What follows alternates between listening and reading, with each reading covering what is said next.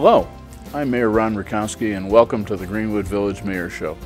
During today's program, we are going to visit with the leaders of two of the best school districts in the state, the Cherry Creek School District and the Littleton Public Schools. We will learn what makes both the school districts successful and why many parents choose both Cherry Creek and Littleton Public Schools as their preferred choice for their children's K-12 education. Both of these districts are known for their quality education and their commitment to preparing your children to become the next greatest generation for our country. Mary Chesley is the superintendent of Cherry Creek School District, where she has worked as a teacher, school principal, and administrator since 1989. Superintendent Chesley is well known for her commitment to academic achievement that leads to post-secondary success. Scott Murphy is a strong leader with a long history in education. Prior to being appointed as superintendent of Littleton Public Schools in July 2006, Scott served as assistant superintendent of business services and chief financial officer of LPS for 16 years. Over the years, many have turned to Scott for his advice because of his expertise as he has served in various leading positions in public education. Mary, can you tell us about the demographics of the Cherry Creek school system? Sure. Cherry Creek School District has uh, 50,000 students. So that student body is the same size as the entire population of Grand Junction, Colorado.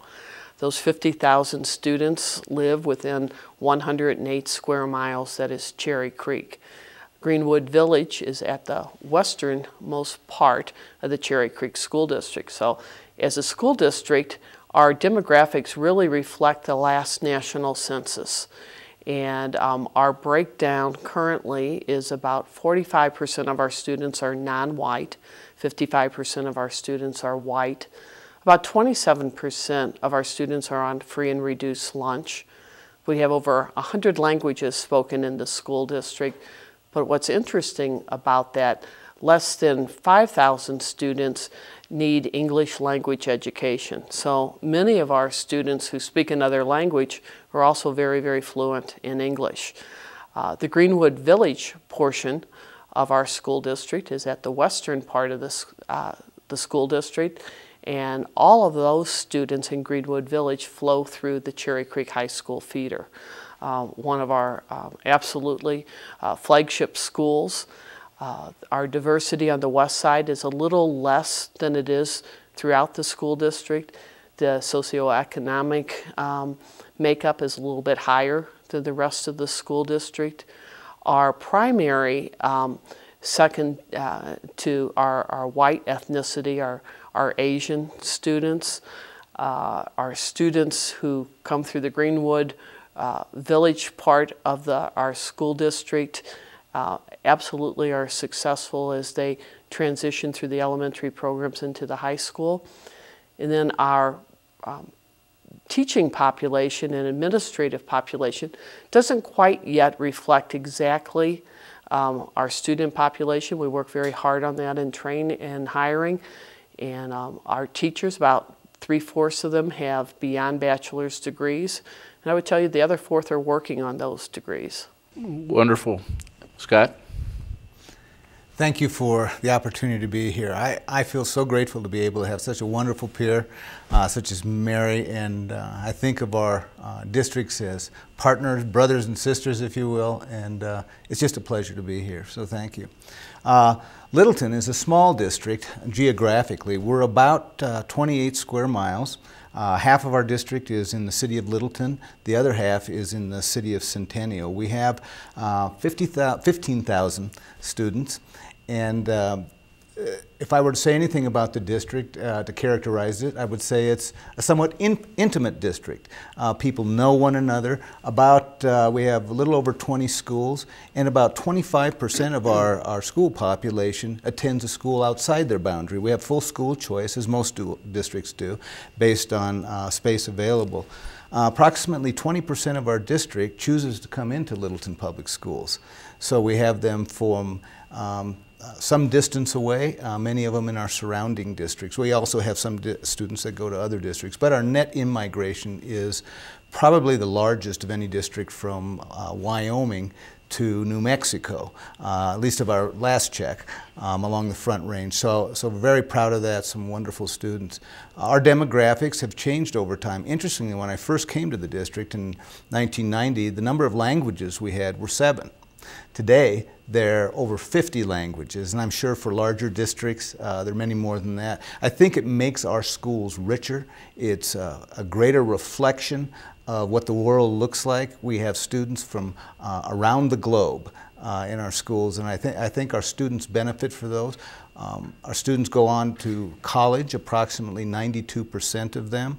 Uh, our graduation rates um, are above 98%. We have a variety of schools. We have a School of the Arts. Um, at our elementary level, we have international baccalaureate programs. We have uh, science, technology, engineering programs within our high schools. Um, interestingly, we have, uh, we have our middle school uh, science curriculum that'll be all electronically delivered, including the textbooks that are coming up. But uh, very proud of our district, strong parent involvement, and the, uh, uh, the virtues of Littleton are a little bit like a small town. Uh, when you're doing well, you know it. When you have a few issues, you know it. So people are in good communication, and uh, we're primarily residential, um, and our tax base uh, reflects that. So very proud of our community support, continues to rate high, high trust in our teachers. Our our, our, ratio of teachers to students, uh, much like Cherry Creek, is lower at the, at the younger grades, um, is in that 22, 23 range. And when they get larger, uh, we have to break the school sizes up a little bit. But uh, as people come in, it's a little bit of a surprise sometimes to us. We're not a rapidly growing district. We're fairly stable. We grew about 1% this year, but uh, fortunately it hasn't changed our class size as much. Good. Well, let's uh, segue into an assessment of learning, and by that I mean uh, CSAP, uh, ACT, SAT, and where you rank uh, both regionally and perhaps even on a national level. Mary? Okay, thank you. Um, we will go to the national test too, because as Scott has already mentioned, um, Cherry Creek and I think Littleton too are um, kind of paradox communities in that uh, they are very, very highly educated communities, but very few of our residents are natives of Colorado. So people, as you said in the introduction, move to these two school districts um, for, for the education. So in, as you know, in Colorado, we have state testing that is um, the large accountability measure for the state. Um, most of our population wants something else besides CSAP. Uh, they have not had an experience and don't see um, a comparative for how the CSAP is with other tests. So um, in our school district, every one of our schools is in the top two um, highest accreditation ratings in the state. In fact, 95% of our schools are in the very highest um, accreditation rating, and that is based on mostly CSAP, ACT at high school, which are uh, students perform well above national and state averages. Uh, our graduates, um, when they leave us, are prepared for college, for the uh, military academies, and some of them um, take a spell and go to work for a while and then come back um, to get more education, a more technical education perhaps. Uh, so how are our students rate um, internally, we use that state data and really dissect it. And our, um, our goal is not just that students perform above averages, but that every student grows every year. And uh, one of the things that we talk about is it's not about averages, it's about individuals. So does every student, no matter where they start, do they make more than a year's progress? And then going back to our national tests, uh, many of our teachers in our high schools especially are uh, known uh, throughout the country for what they do as teachers, but also what they do, uh, whether it is science and, and, getting patents or experiments that they are doing or working with higher education at the same time that they are teaching. Um, so I, I, think both of our districts uh, have educators that are in this for the long haul and they are in um, education to get our students ready to be that next successful generation. In, in our school district, that means uh, graduating from college. So we look at it as a, a, at least a pre-K 16-year curriculum. Well, thank you. Scott? Very proud of um, our students' accomplishments, and I must say our teachers' accomplishments as well.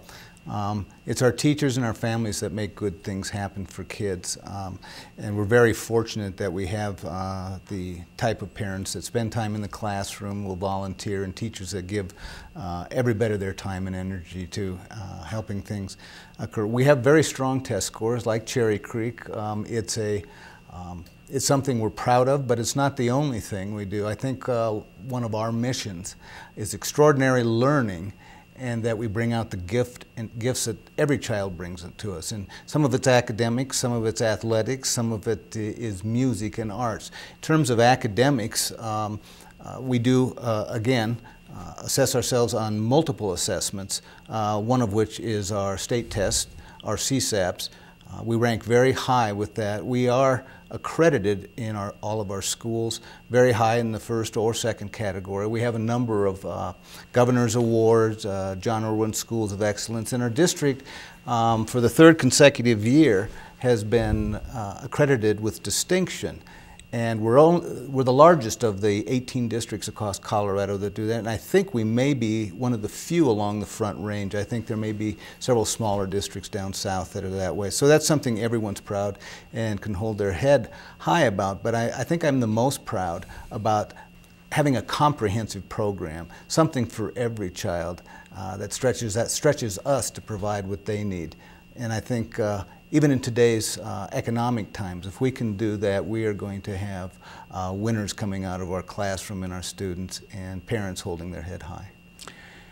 Thank you. Um, before we get into STEM, which I want to have special emphasis on, are there any uh, sp particular special emphasis in individual schools, like a music school, uh, one that has, as an example like that, uh, Mary? Yes. Um, in Cherry Creek, as we, we talk about choice, and choice is absolutely a, a topic in public education. Scott referred to uh, choice in his district. And same way, we have about 4,000 students who don't go to their neighborhood school. But our school board's commitment is um, first to an excellent school in every neighborhood. Um, we do have a challenge school that is a magnet school for um, uh, very high uh, intellect students and that's a K through 8 school. We have, um, in our last um, bond issue in 2008, we were able to build an Institute of Science and Technology uh, on the Overland Prairie campus. And uh, what I would say to you, that was the beginning of STEM, and I know we'll talk about that later in our district, but um, we've really gotten to the learning of it. It's not about the building, it's what happens inside, it's the programming. So um, each of our buildings is now required to have STEM curriculum um, going on. But we don't have um, schools that um, are specialized in one area. It is trying to provide a comprehensive program in all of our schools. Every student has the opportunity to, to have the arts, um, to have those after-school programs. Our, the largest high school in the state is in Cherry Creek School District, and um, they have 100 after school clubs. So I, I think um, Scott said he's a, a, small town. I think we're a little larger town um, in Cherry Creek and, and, try to make sure that um, while students are in their K-12 education, they can specialize but they don't have to lose some of the, the broader part, parts of the program. And I've been amazed that when students are seniors and they may know exactly what they want to do, take a couple math courses, but they also, and, and their families, don't want to give up the rest of, of life, whether that's arts or activities or athletics. Scott? I think um, we have a, as I said, a comprehensive program, but we have specialty schools as well. Uh, we have an elementary arts program, quite popular. In fact, a third of their students uh, do not come from that attendance area. They come from some other attendance area in the school district or from outside the district. We also have alternative school programs uh, in different schools for middle school students and our high school students who aren't quite ready for that transition into either middle or uh, into the high school. We have an international baccalaureate program. And these these aren't for every child, but many of our, our parents uh, involve that are involved with that. In terms of STEM, we've always viewed uh, science and technology, math, uh, within our existing curriculum as an emphasis that's available for some students. In fact, our math and science scores continue to rank at the top in the metropolitan area. So we're very proud of that and what our children have done. Um, we also have concurrent enrollment, as Cherry Creek does, where students can go on, uh, if that course isn't offered, go on into a community college or actually one of our colleges downtown. Uh, we have Arapahoe Community College located not far from my office in Littleton, where there are about 25,000 students in secondary education. But in fact, at that college, we also run an online program for our high school students. But a number of our high school students go either to Arapahoe Community College or Metro or even University College Colorado, um, in Denver to take additional courses of which they will get college credit. Or in certain circumstances, the professors have been certified, some of our teachers are professors, and they can earn their college credit right there in the university. So there's a wide variety of options. Well, uh, we've just heard of two really dynamic situations, and I think what I want to move into now is something that we're getting tremendous uh, coverage from a national media point of view and also from the Congress, and that's, and we've used an acronym that I do need to explain. It's called STEM, Science, Technology, Engineering, and Mathematics. And if there's a, a buzzword in education from my point of view today, that's it. Uh, Mary, would you like to uh, tell us uh, where Cherry Creek is in the STEM programs? Sure. Um, as I said earlier, uh, um, our curriculum in science is very mu much um, geared to a STEM background. That means, um, so at elementary school, what does that sound like or look like? That means at elementary school, uh, students are reading more technical uh, books, less fairy tales, less fiction, not to the exclusion of those, but um, more engaged across the curriculum kind of technical uh, reading. Uh, there are a lot of experiments that go on in our elementary schools. Um, kids understand the scientific process. Uh, robotics is happening. So we move to um, middle and high school. Uh, we do have students that are getting their patents on um, projects that they have done. We have a student last year who did some um, AIDS investigation and uh, experimentation with CU. And uh, this isn't um, a rarity anymore our, our kids who are, are moving through the curriculum are actually moving through the curriculum and moving right into uh, what the business world is looking for uh, to have that prepared student. So in, in the same way that Scott talks about um, what we have done in the past with IB and advanced placement classes, I think the, the next era with STEM coming on, um, students and, and us as a school district are um, trying to decide and have students uh, decide which avenue do you take when you're in high school? Because advanced placement a lot of students graduate with an, enough credits to finish their uh, freshman year. As scott said concurrent enrollment some kids are graduating with their, their um, um, associate's degree and then we have some students in inter uh, international baccalaureate so i think we um, are preparing k-8 for students to take any of these high level uh, pathways. I, I am convinced that when students graduate from our high schools, they know more and have had more experiences than my generation had graduating from college. Uh, I, I, think the mentorships that come with STEM are, are just fascinating, and we have such a, uh, a community that um, values education, but as business moves um, to both of our communities, a business is looking for and uh, communities that value uh, students' education. Business is looking for that next generation. So we have the class of 2025 in kindergarten, and our goal is that when they leave us and when they graduate, that they are uh, fully ready for what um, higher education is going to offer. And we think it, at, in 2025, it is going to be so much uh, more closely melded with business. I think those opportunities of internships, uh, mentorships coming into our schools, and I think STEM, as you've indicated, has been the impetus. Uh, as soon as we got STEM going, it, it isn't long in education before another acronym comes about, and I've heard, um, and I've heard it from our parent community. They want to make sure that we have STEAM, and the A in STEM for them is um, let's make sure we have the arts and have that that part uh, for our students. And uh, again, this is anecdotal, but so many of our ad advanced science students are left and right brain kids, and, and the arts are very um, much in their education and they want them in their lives. You think that A could also stand for athletics? Um, I've heard people say that, and at this time, um, I think it's got one A and it uh, initially has met arts. Anything that keeps kids connected to school and keeps students engaged, um, athletics has a very important role. Um, and then I guess our final A would be activities. All right. Scott? The concept of STEM is, is I think, um, taking some front and center for many of our districts. We have a, uh, a school that's beginning, actually, uh, one of our elementary schools uh, with a STEM emphasis, um, and a high school that's starting um, to now explore in the development of an engineering laboratory along with uh, its other curricular program. I must say, um, one of the things that I'm, I'm strong on, and I think our community is strong on, is inter interdisciplinary study, um, along with character development and communication. We have a strong alliance with our business. Lockheed Martin has come in a lot on um, science, technology, engineering, mathematics, but they've also come in and say we need leaders.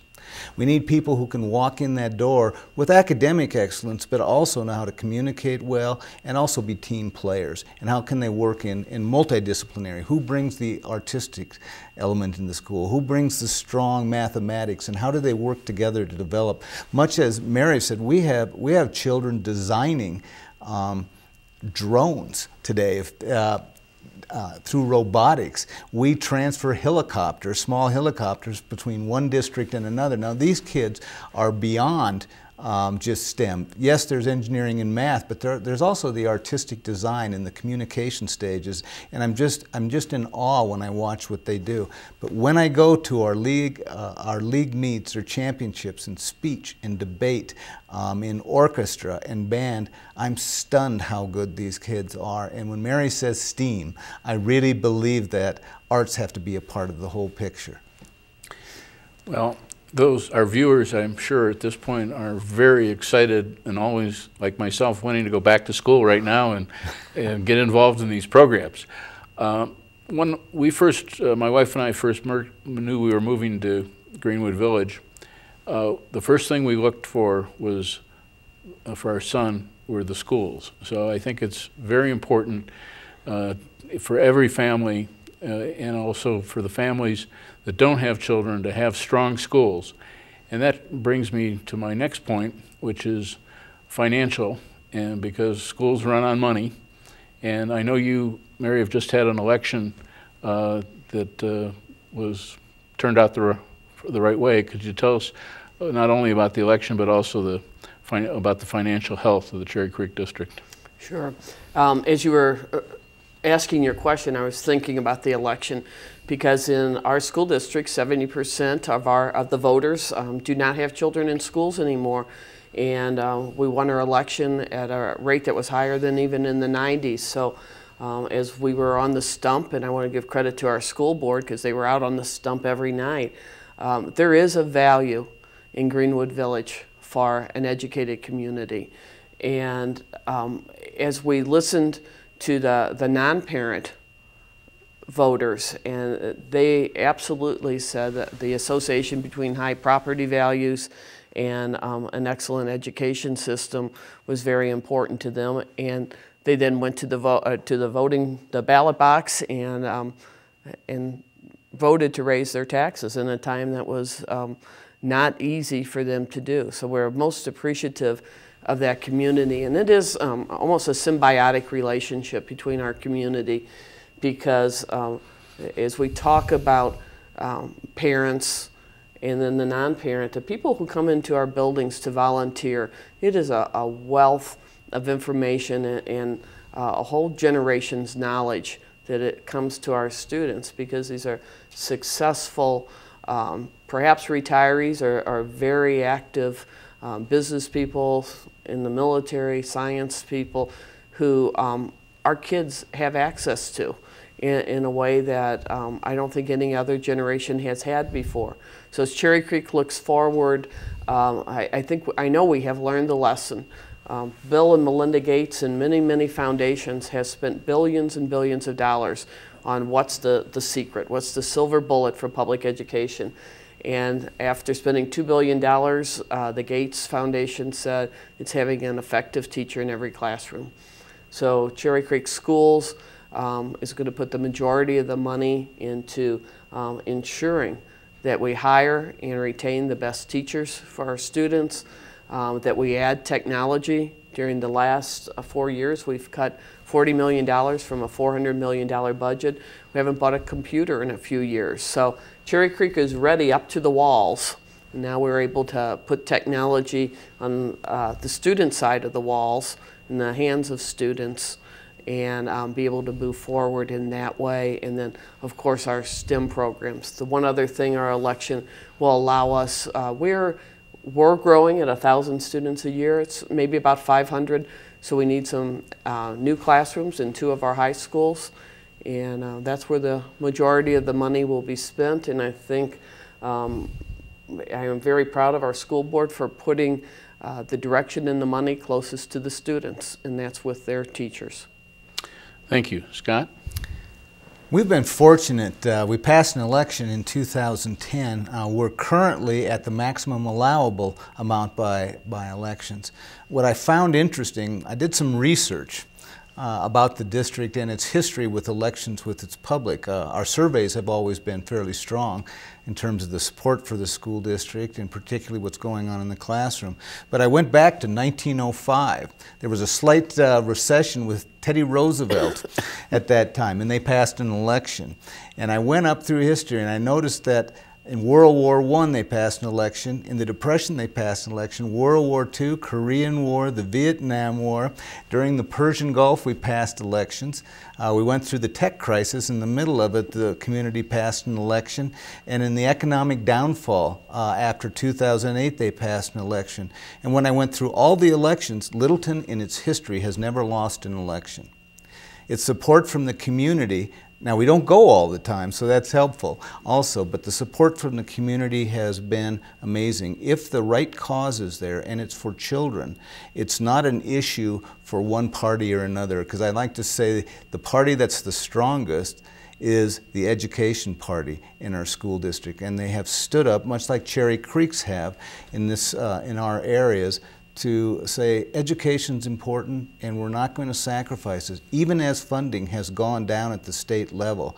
And certainly there continue to be challenges, uh, both because of economics and multiple priorities across the state and the country. But we're very proud of that continued support and couldn't do it without them.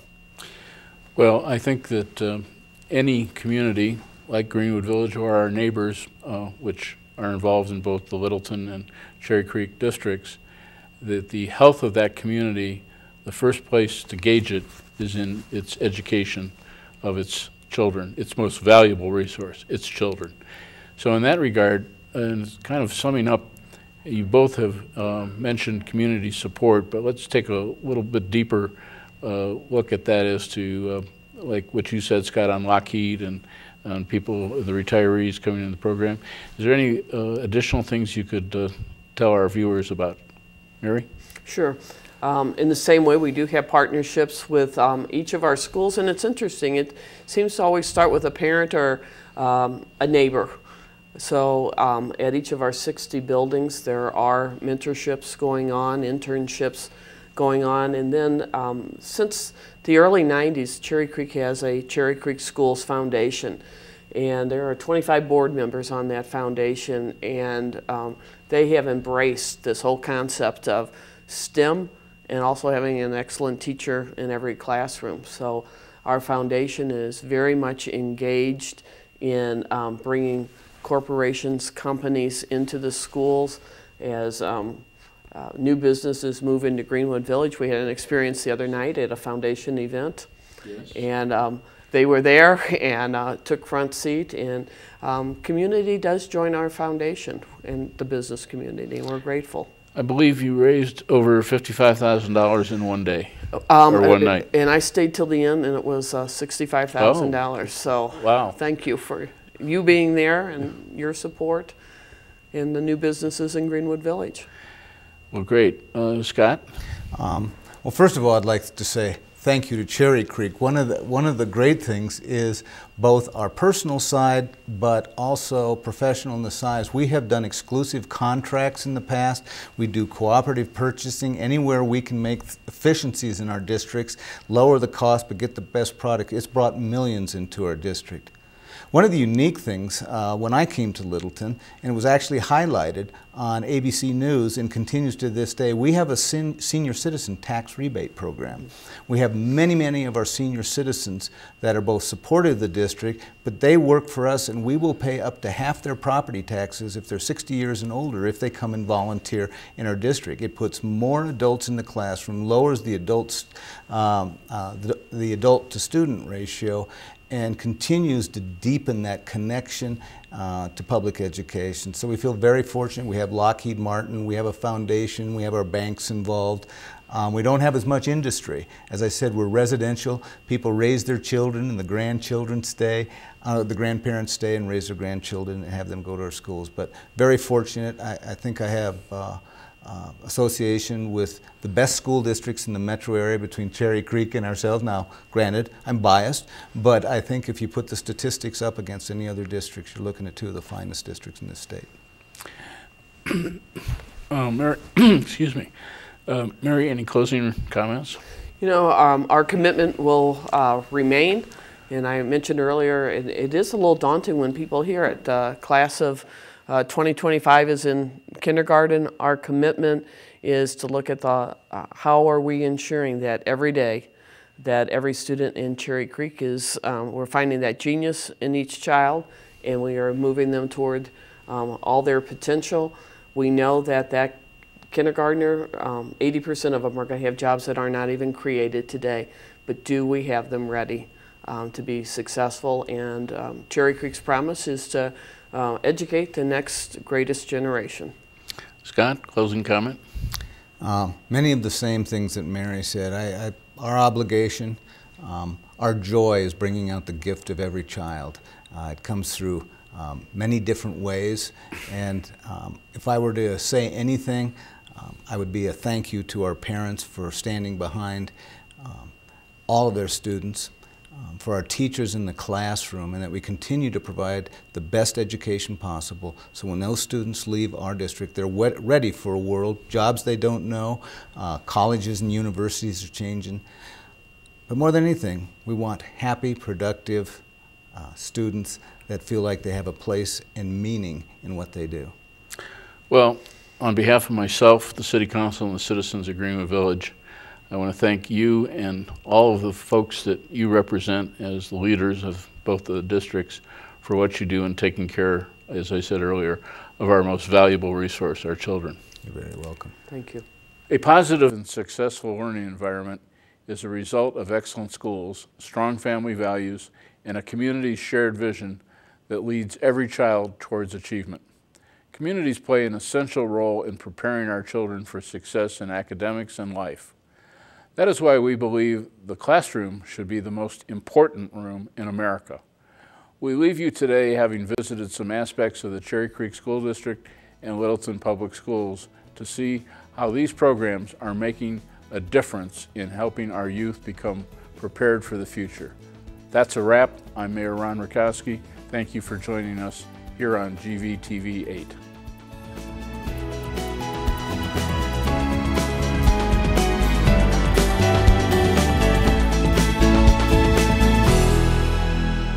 Today's students are reaching new heights of learning. Thanks to the Cherry Creek School District and Littleton Public Schools, students are gaining the skills necessary to succeed in today's challenging world through the integration of STEM. STEM is uh, it's, it's basically an integration of science, technology, engineering, and mathematics. Uh, the concept is, is not necessarily new. but it's really just looking at uh, nationwide. There's uh, been a push to really integrate all the different uh, areas. And at Cherry Creek High School, that's basically what we're focusing on right now, is trying to look at all of our groups and our clubs um, in combination with our teachers and our classes and really trying to integrate all those different areas so that we're much more literate in terms of um, working through those with the students and giving them great opportunities uh, as they move on to their uh, college and or career uh, choices. Cherry Creek High School, students are offered an array of STEM courses and can participate in STEM clubs. Classes like physics push the momentum of students to think with energy and force. I always liked the idea of creating and doing things with my hands. I never liked the normal science classes where it was a teacher giving lectures about something and you never understood, you never did anything with your hands. I'm very, I'm very hands-on and I like, I like this class because it, it's very, you do things, it's not just learning. The undertaking of scientific and mathematical principles in physics can be challenging, but it doesn't stop these students from solving complicated calculations. There's a lot of math um, but I've always really liked math, so it's been easy for me, but a lot of people it's really hard. I wanted to take this class because I really like that it applies to real life things. Like we learn about stuff and then we do labs about it so you can apply it to like things you can actually see, which is nice.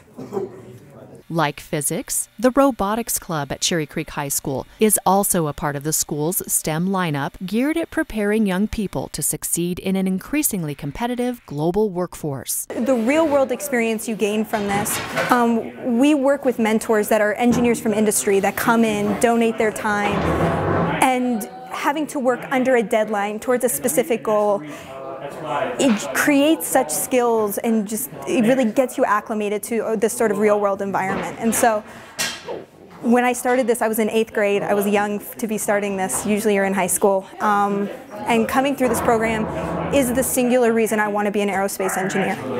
It's totally reshaped the classes I've taken in high school, the direction I'm going in, the colleges I'm looking at. It has been so powerful in my own life that I could only imagine if there's a huge student body at Creek, the fact that we didn't have this available and this opportunity to other kids really didn't make sense to me. We're trying to create a robot for the FRC challenge and uh, we have to create a robot that can throw frisbees into goals and be able to climb a pyramid.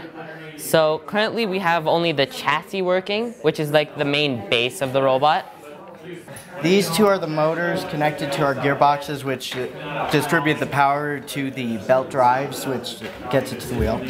Connected to them are the speed regulators which get the right amount of power to the motors to make it go the speed we want it. These are connected to through the power control cables to the remote control device which we are currently using just to figure out how to drive it. And everything is connected to the power distribution board.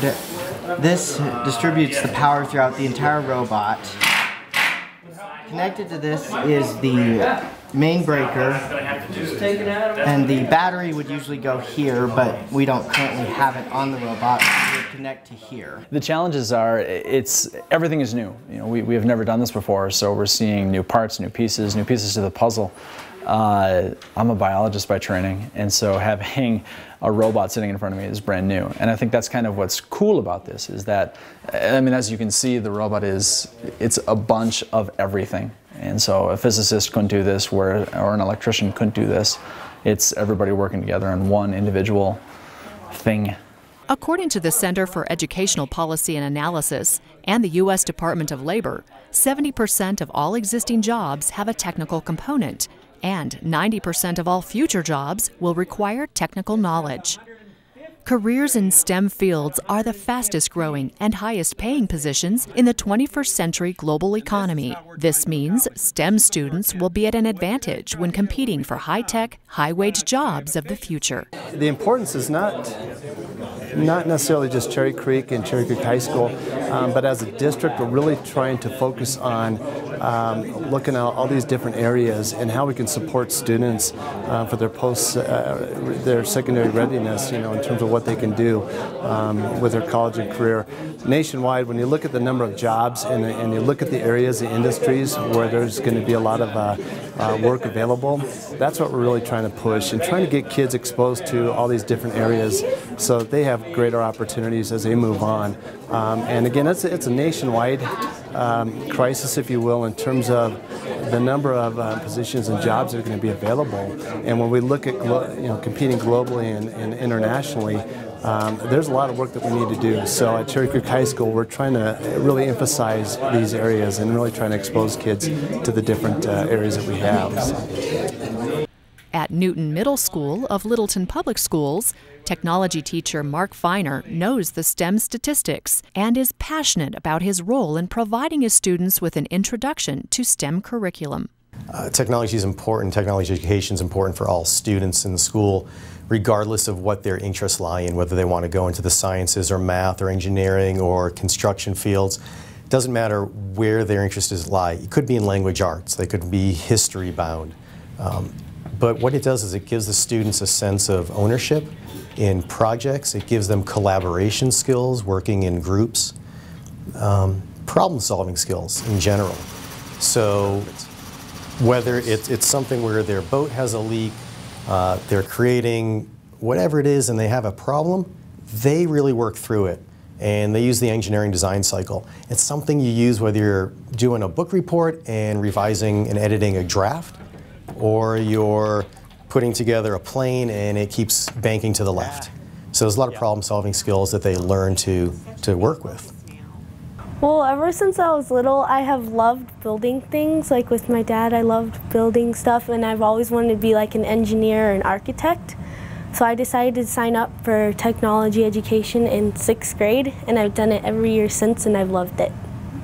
I think tech's a lot of fun because we get to work with different materials, and we get to do a lot of different kind of software stuff like they're doing right there.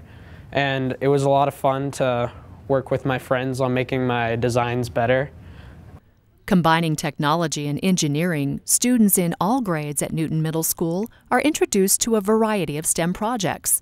The projects are designed to replicate practical real world applications that encourage students to think critically and solve complex problems. This was designed for our annual PE fitness run in the spring.